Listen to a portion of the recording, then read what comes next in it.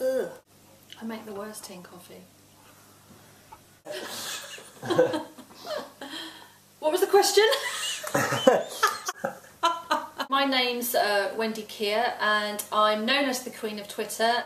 I'm known as the Queen of Twitter and I always feel that I have to explain this story because people within my own community with Inside Twitter started calling me the Queen of Twitter. So I actually wear my crown very proudly.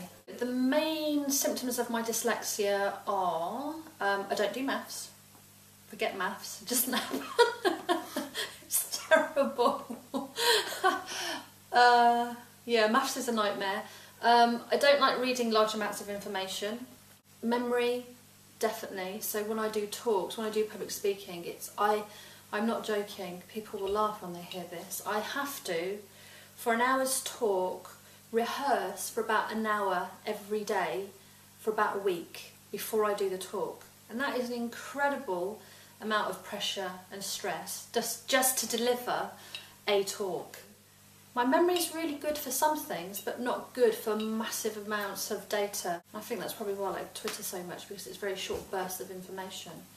And it's also about connections as well. I'm really good at connecting people together in terms of thinking about who needs what. So the business is um, totally focused around Twitter and it's how businesses can effectively use Twitter for their business. Twitter really suits my learning style.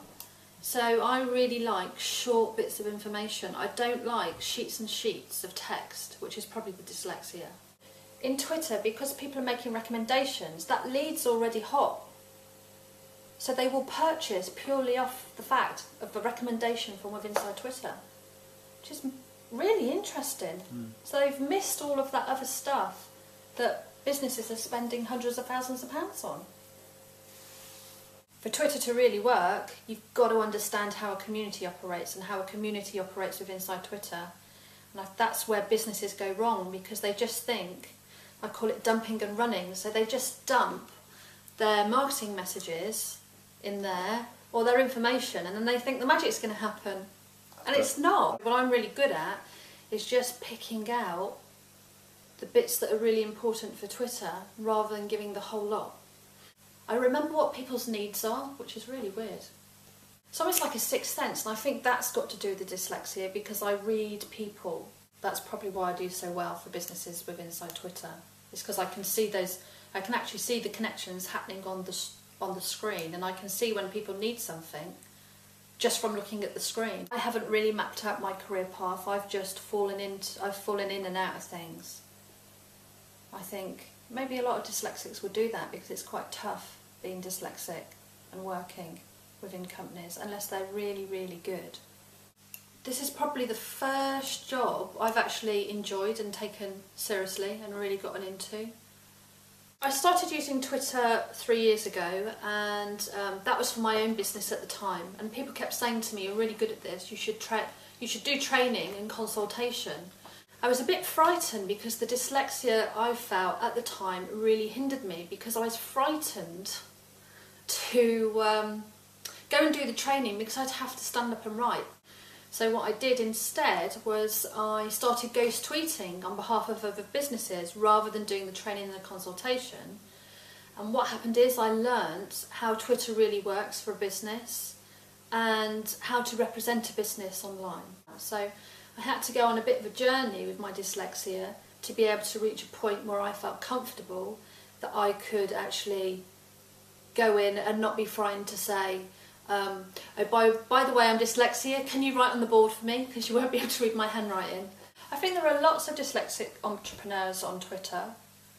Um, I think the thing is whether, I, sh I should imagine there's loads, it's just whether people have actually got it in their bio or not. Some people are really brave and courageous and they'll have dyslexia or dyslexic in their bio or dyspraxic. Um, but I'm not quite, I'm not quite brave enough to do that. It's difficult, isn't it? Because some, some people would be attracted to it, and other people would just be completely turned off by it. I think people think, oh, you're going to start your business, oh, you're going to get loads of money. My business plan, when I first did it, was like, oh, I'd have so many clients a week, and then the reality sets in, and it's a bit of a different story. Running your own business is hard. My God, is it hard work. It's unbelievably hard work. I can only I can only think that as you keep learning and you keep learning more, that you get better. And you have to find your way around things. So if it doesn't work, you have to find another way to do it. Dyslexia, I think, definitely does that. It definitely makes you more resilient. So um, rather than writing a report, I do a video. I think one of the things is you need to get a really good support network of people that not only understand your dyslexia but also understand you on an emotional level because sometimes you can obviously be oversensitive and you really need people to balance out if they know you they'll be able to balance out how you're feeling so you don't so you don't overreact they can check your work um, and I think if you can be honest with people with clients be honest with them whenever you can because it just takes away some of that stress. So if you make a mistake, they'll have a basic understanding of why you've made it. So it just relieves some of them, the tension and the stress that you can experience from having dyslexia. And also, don't have too much stress because um, your dyslexia gets worse. so map out when's going to be your most stressful points in the month or the week and make sure you haven't got too many areas of stress all in one go.